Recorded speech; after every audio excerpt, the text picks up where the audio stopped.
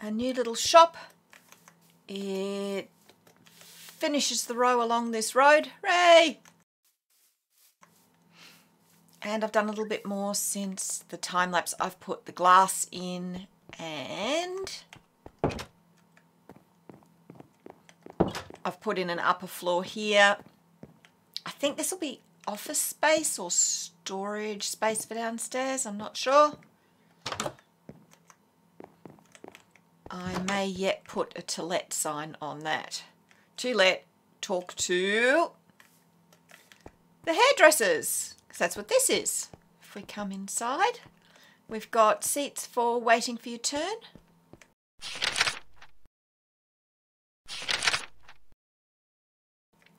We've got barber chairs and mirrors.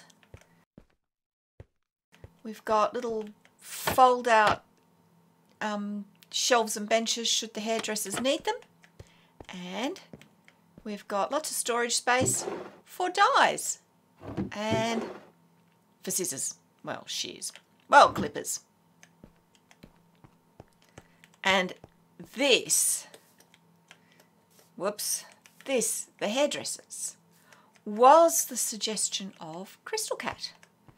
So, um, we'll put it here. There we are, Crystal Cat hairdresser. Lovely. I can get my hair trimmed now. Brilliant. there we go. Ah. Well, after being off for a few weeks because I was sick, that's a good way to jump back in. Thank you, Crystal Cat, for the idea. One last thing before I toddle off. Because this is the problem with trying to do episodes when your head's not on straight. The chorus flower farm. Mm, remember how these were growing up and popping off and being a problem?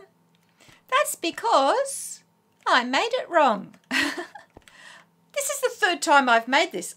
I should know how to do this. See how I've put the iron trapdoors one block down now so they're just underneath the row above. That's where I had them. I've added these. Now it works properly. Now it stops them growing up and they just get to this stage and stop. And I've got Eagles 1701E, Jarhead and Julie Bean to thank for telling me you've built it wrong, you know that, and explaining to me how I should do it based on explanations I've given before. Uh, thanks, guys. I really appreciate it. It's on right now. It's working. So I'm not sure what I'm going to do next. Um, a train. Uh, the engine shed. That's a possibility. Oh, or there's one more factory I need to build. Mm. I'm going to go do some research. I'll see what that comes up with.